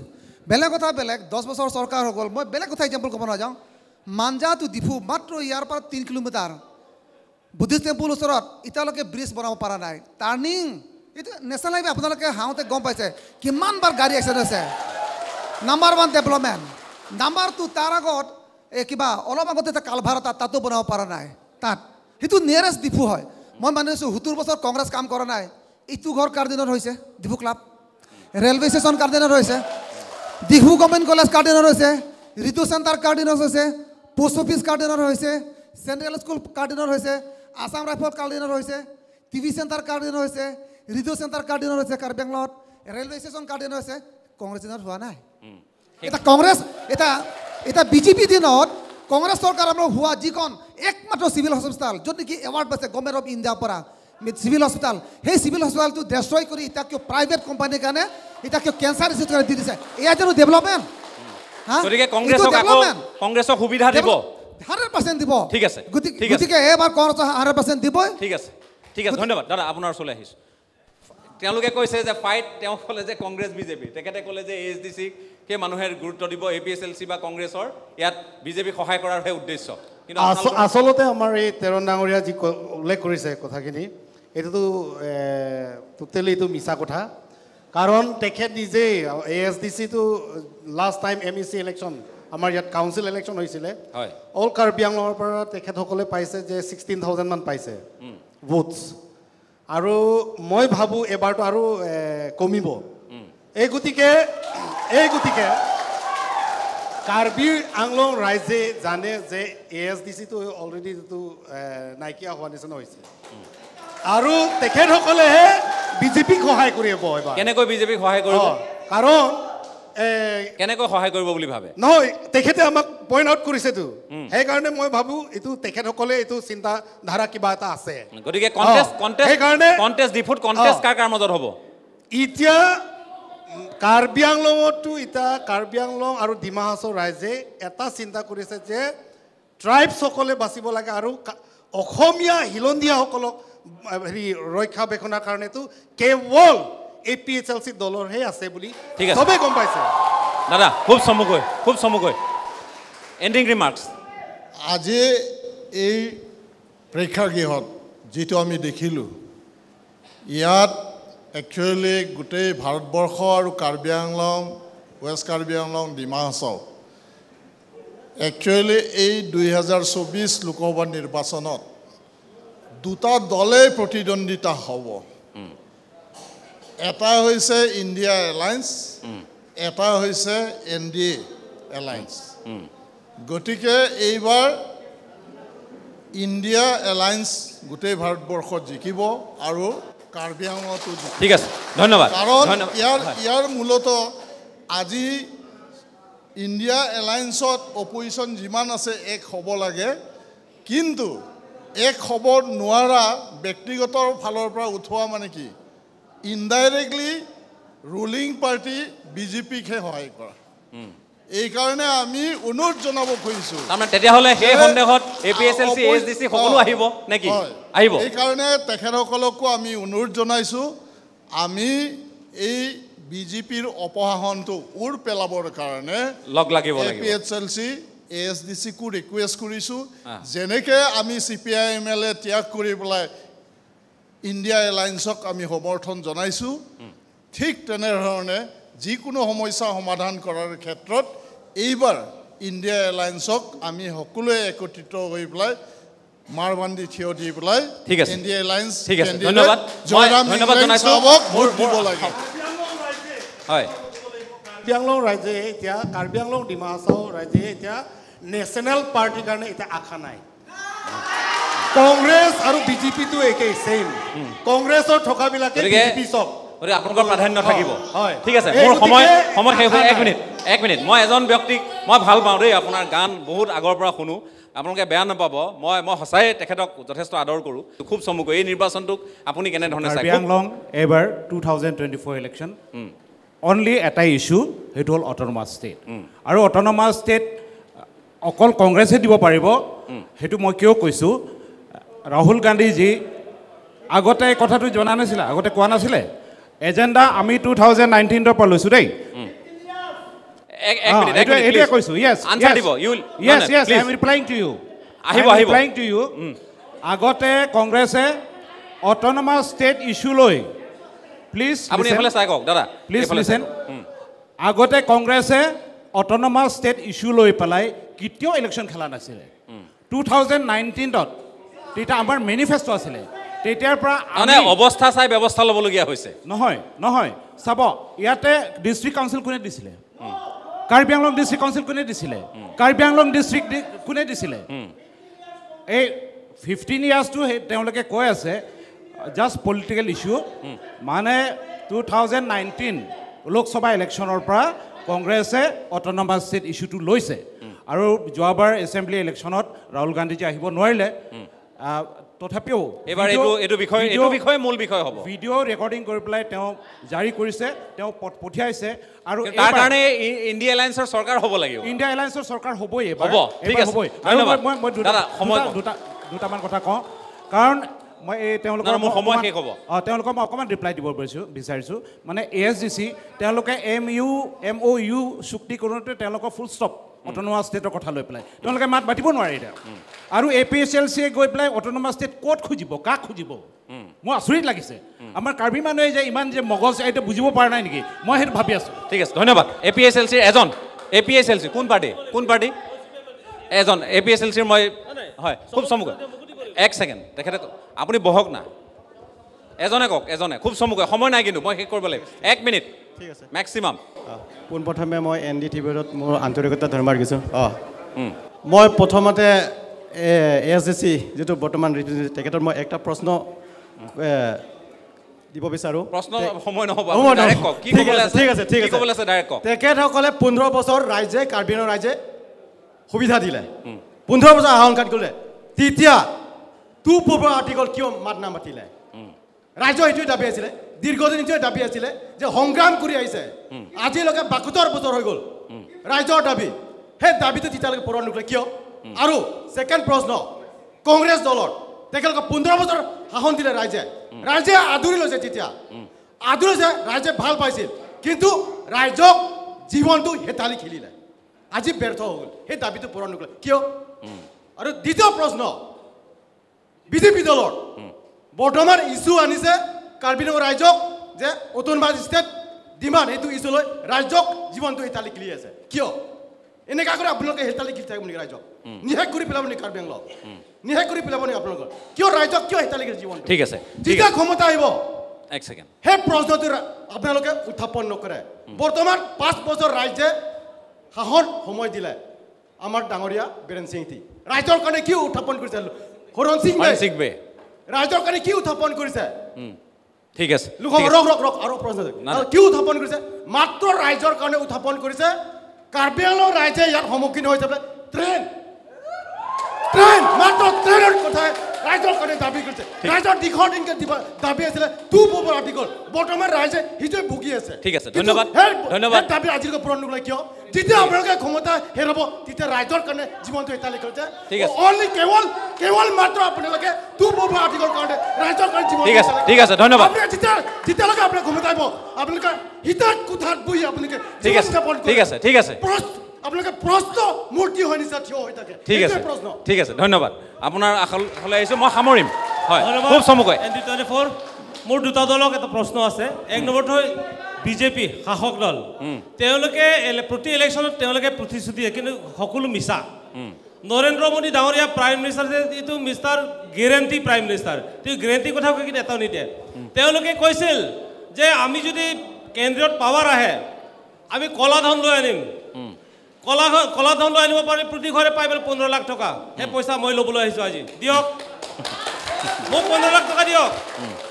তেওঁলোকে প্ৰতি বছৰে দুই কোটি যুৱক যুৱতী চাকৰি দিম বুলি ক'লে মোৰ ছোৱালীক চাকৰি খুজিব আছে দিয়ক। তেওঁলোকে দগমকাত আহি পেলাই ক'লে যে অটৰ মাছতে অটৰ দিম অটৰ মাছতে দিয়ক। এইবিলাক কথা কিয় আপোনালোকে ভুল হেৰি কৰে? তেওঁলোকে তেওঁলোকে যিমান প্ৰতিশ্ৰুতি সকলো মিছা আৰু এইবাৰ বিজেপি আৰু এইবাৰ বিজেপি ৰাইজে নিবিচাৰিব ঠিক আছে, ধন্যবাদ। ধন্যবাদ, ধন্যবাদ। এটা কুৱেশ্যন আছে। ধন্যবাদ। মই A P S L C ডাঙৰীয়াবিলাকক এটা কুৱেশ্যন আছে। তেওঁলোকে প্ৰথমতে তেওঁলোকৰ ইছ্যু দাবীটো স্পষ্ট স্পষ্টীকৰণ কৰক। তেওঁলোকে অট'নমাছ ষ্টেট বিচাৰে নে নে ছিক্স চিডুল বিচাৰে? তেওঁলোকে কেতিয়াবা কয় ছিক্স চিডুল কেতিয়াবা কয় অট'নমাছ ষ্টেট এতিয়া বৰ্তমান যিজন প্ৰাৰ্থী জয়কথা ডাঙৰীয়া তেখেতে যদি দিল্লীত গৈ পেলাই এম পি হৈ যায় তাত গৈ পেলাই তেওঁ ছিক্স চিডুল কথাই ক'ব। তে আমি আঠত্ৰিছ বছৰ ধৰি আমি অট'নমাছ আন্দোলন কৰিলোঁ। এই ইছ্যুটো নক্সাত কৰা নহ'বনে? গতিকে তেওঁলোকে সেই বস্তুটো স্থিতি- স্পষ্ট ঠিক আছে কৰক। ঠিক আছে ধন্যবাদ। মই নাই মোৰ সময় সময় মই শেষ কৰিব লাগিব schedule article two four four A পালেও অট'নমাছ পালেও পেৰেগ্ৰাফ টুৱেণ্টি মতেহে তাতে কিবা হেৰি হ'ব বুলি লিখা আছে স্পষ্টভাৱে। ঠিক আছে ঠিক আছে ঠিক আছে। ছিক্স শিডিউল পেৰেগ্ৰাফ টুৱেণ্টি মতেহে ঠিক আছে। মতেহে আমি কিবা হেৰি কৰিব লাগিব। ঠিক আছে এতিয়া মই অকণমান বেলেঞ্চ কৰোঁ। জেনেৰেল নাই, নাই, মোক শেষ হ'ল।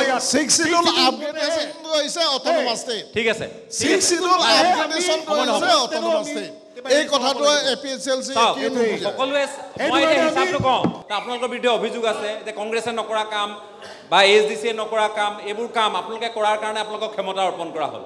যদি এইবাৰ এইবাৰ এইখিনি ডাঙৰ প্ৰশ্ন। ডাঙৰ প্ৰশ্ন কি হ'ব? এই যে আপোনালোকে আপোনালোকে আপোনালোকৰ প্ৰতি পোনপটীয়া অভিযোগ আছে আপোনালোকৰ স্বায়ত্তশাসিত পৰিষদৰ দায়িত্বত আপোনালোক আছে চৰকাৰ আপোনালোকৰ আছে কেন্দ্ৰত ৰাজ্যত। আপোনালোকৰ পূৰ্ণ সুবিধা আপোনালোকে ল'ব পৰা অৱস্থাটো সুবিধা ল'ব পৰা নাই। মানুহে আপোনালোকক আকৌ কিয় বিশ্বাসত ল'ব? সামৰণি প্ৰশ্ন। আকৌ কিয় বিশ্বাসত ল'ব? এক আকৌ কিয় বিশ্বাসত ল'ব? আমি যিমানখিনি কাৰ্বি আংলঙৰ মূল ইছ্যুবিলাক সকলো ইছ্যু এটা এটাকৈ আমি ৰূপায়ণ কৰি গৈ আছোঁ। গতিকে অলপ আগতো কৈছোঁ আপুনি গুৰুত্ব নিদিলে তথা মোক সুবিধাটো নিদিলে। না গুৰুত্ব দি আছোঁ কাৰণে আকৌ দিছোঁ। বৰঞ্চ আপুনি এই সকলো দৰ্শকৰ মাজত গৈখিনি সকলোকে লাউড স্পীকাৰটো দিখিনি মোক গালিটো দিয়ালে। নাই নাই মই গালি দিব গালি যদি আপুনি খাবলগীয়া কাম কৰিছে মই কি কৰিম কওক? আপোনালোকে যদি গালি খাবলগীয়া কাম কৰিছে মোৰ ভুল ক'ত? আচ্ছা।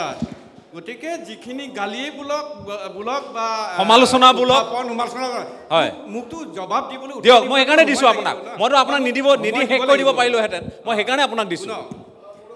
এক ছেকেণ্ড প্লিজ দাদা প্লিজ বাকীবোৰ বহুত হৈ গ'ল এক মিনিট। এই সন্মুখত অহা সকলো দলৰ নেতা নেত্ৰী কৰ্মীসকলক বহুত ধন্যবাদ। তেওঁলোকে ইমান সময় ডিবেটৰ মাজত ভালকৈ ডিবেটত অংশগ্ৰহণ নকৰি যে হুলস্থুল পৰিৱেশ সৃষ্টি কৰি যিখিনি মূল মোৰ মানে মোৰ পাৰ্টি আমাৰ পাৰ্টি আমাৰ দলৰ পৰা আমাৰ চৰকাৰৰ পৰা জানিব লগাখিনি কথা নাজানি বাদ দি বা যিখিনি অভিযোগ উত্থাপন কৰিব লগা আছিলে তেওঁলোকে উত্থাপন নকৰি হালা গোলাতে ব্যস্ত থাকে। মোৰ মোৰ কাৰণে ভাল আমাৰ দলৰ কাৰণে ভাল। ঠিক আছে মই দুটা কথা ক'ম। দুটা কথা এইটোৱে ইয়াত অটনমা ইছ্যুটো বিশেষকৈ সকলোৱে হাতত লৈছে। মই অথনিয়ে ক'লোঁ আপুনি আধাৰুৱা কৰি দিলে। যে অটনমা ষ্টেট সঁচা কথা মই ক'ব বিচাৰোঁ আপোনালোকে অটনমা ষ্টেটৰ কথাটো পাহৰি যাওক। এই মুহূৰ্তত আপোনালোকে এটা কথা চিন্তা কৰক আমি কাক মুখ্যমন্ত্ৰী পাতিম? তুলিৰাম ৰভাং এইটো মিছা কথা।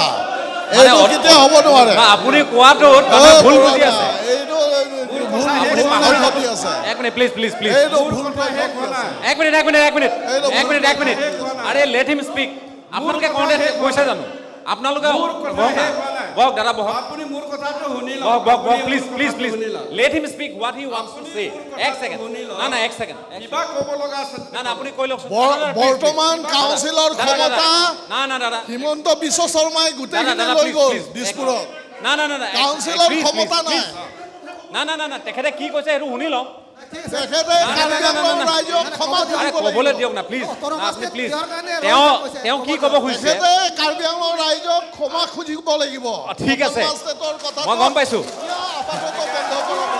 মাফ এক মিনিট এক মিনিট এক মিনিট এক মিনিট এক মিনিট মাফ প্লিজ খুজিব প্লিজ লাগিব তেখেতে আপুনি কি ক'ব খুজিছে কি যে আপোনালোকৰ নিজৰ নিজৰ নেতা আছে মই বিশেষ দুই এজনৰ নাম উল্লেখ কৰিছোঁ ডক্টৰ জয়ন্ত ৰংপী প্ৰাক্তন সাংসদ চি এম প্ৰাক্তন আৰু আমাৰ প্ৰাক্তন হলিৰাম তেৰাং তেখেত মন্ত্ৰী প্ৰাক্তন মন্ত্ৰী আৰু বৰ্তমান আৰু প্ৰাক্তন বীৰেন সিং টি। এখেত আপোনালোকৰ নিজৰ নিজৰ নেতাক সোধক যে article two four four four A two ক্ষমতা তাৰ কাৰ্য ক্ষমতাটো কিমান সীমিত বা কিমান ওপৰত? ডক্টৰ জয়ন্ত ৰংপিয়ে আপোনালোকক ধুনীয়াকৈ বুজাই দিব বীৰেন সিংটিয়ে ধুনীয়াকৈ বুজাই দিব। হলিৰাম তেৰাঙক সোধক তেখেতক তেখেতে বহুত অভিজ্ঞ মানুহ doctor Rongpi Biren সিংটি autonomous state article two four ফ'ৰে যিটো প্ৰভিজন তাত ক্ষমতা লিমিট কিন্তু সীমিত। দেই কিন্তু আজি কাৰ্বি আংলং অট'নমাছ কাউন্সিলত দেই কাৰ্বি আংলং অট'নমাছ কাউন্সিলত অট'নমাছ ষ্টেটতকৈ অধিক পাৱাৰ আমি উপভোগ কৰি আছোঁ। আগন্তুক অট'নমাছ ষ্টেট যিটো নামাকৰণ বা আমি আনুষ্ঠানিক আনুষ্ঠানিকভাৱে ঘোষণা কৰিবলৈ হে বাকী আছে। আমি।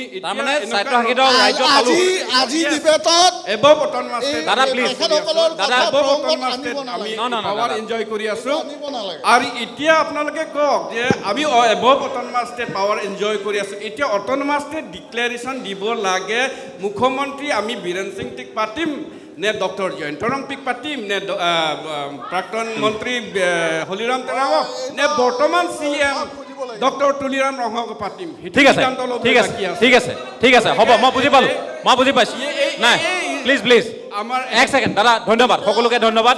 ধন্যবাদ মই গম পাইছোঁ। চাওক প্ৰথম কথাটো হ'ল মই যিটো বুজি পাইছোঁ তেখেতে যিটো ক'ব খুজিছে মই তেখেতৰ হৈ কোৱা নাই। মই তেখেতৰ প্ৰতি মোৰো প্ৰশ্ন আছিলে মই কৰিছোঁ। কিন্তু তেখেতে কৈছে তাৰমানে আপোনালোকে এই স্বায়ত্তশাসিত পৰিষদখনেই আপোনালোকে এখন এখন পূৰ্ণ- মানে স্বায়ত্তশাসিত ৰাজ্যৰ দৰে পাবলৈ গৈ আছে আৰু ইয়াত মুখ্যমন্ত্ৰী কোন হ'ব সেইটো তেওঁ আপোনালোকক কল্পনা কৰিবলৈ কৈছে বাছনি কৰিবলৈ কৈছে লাগিলে। তাৰমানে তাৰমানে। বিজেপিয়ে দিব বিজেপিয়ে অট'নমাছ মিছা। কাউন্সিল ডিক্লেয়াৰ কৰিব যে কি নহওক এতিয়া এই অট'নমাছ কাউন্সিলৰ বিষয়টো অট'নমাছ ষ্টেটৰ বিষয়টো article two forty four A এই বিষয়টো আজি আমি শুনা কথা নহয় এনে এইটো প্ৰথম অনুষ্ঠান নহয় যিটো অনুষ্ঠানত এই বিষয়টোক লৈ আমি আলোচনা কৰিছোঁ কথা পাতিছোঁ। কিন্তু নিৰ্বাচন আহিছে বিষয়টোৱে প্ৰাধান্য পাইছে। কিন্তু এই প্ৰাধান্য ইয়াৰ পৰা সাংসদ নিৰ্বাচন হোৱাৰ পাছত সেই প্ৰাধান্য একেধৰণে পাবনে?